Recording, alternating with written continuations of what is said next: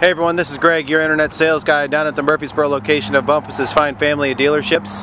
What we have here is a 1998 883 Sportster. Motorcycle only has 32,474 miles on it. It's in pretty good shape. Um, they changed the grips, changed the mirrors, put the uh, windshield on it, leather bra on the tank, uh, Vance Hines pipes, fixed backrest, touring seat.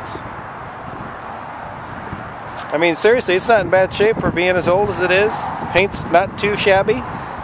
Screaming Eagle on the uh, battery box. Changed the primary cover. It's carbureted. Screaming Eagle on the front fender. Some scratches on the back fender here. Can be touched up easily with vivid black paint. Not too bad of a motorcycle. If you have a question about this motorcycle or any motorcycle in our inventory, simply request that information online and I'll get back to you.